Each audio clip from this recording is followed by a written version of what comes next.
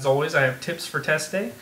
Uh, do the math last as it tends to be more time consuming. Uh, you don't want to run out of time uh, doing all your uh, math first and then you have 20 minutes to do your multiple choice because that's not enough time to do them well.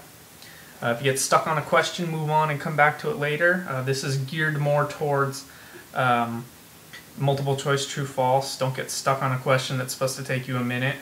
Uh, math, if you get stuck, you know, kind of kind of work it out. But if you get too stuck, move on because uh, you never know. You might not ever get that answer.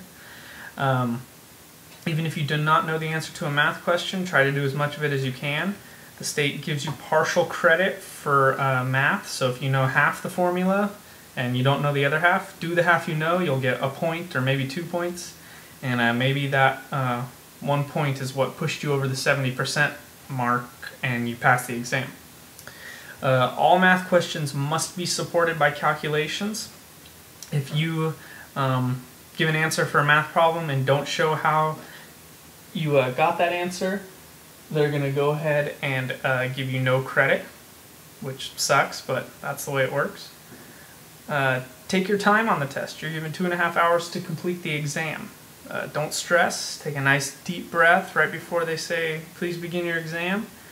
And just go to town on the test. Hopefully, you've studied hard enough and you really know the material, and you'll finish it like that.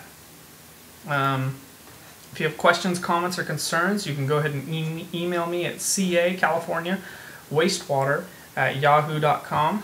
Uh, I'll try to respond as quickly as possible and to the uh, and to the best of my ability. And uh, please subscribe to my channel. I will be updating more videos, uh, not just math videos, but other videos in the future. And uh, on test day, I wish you good luck, and uh, I hope you all pass. Alright, thank you for watching my video on Grade 2 Wastewater Math.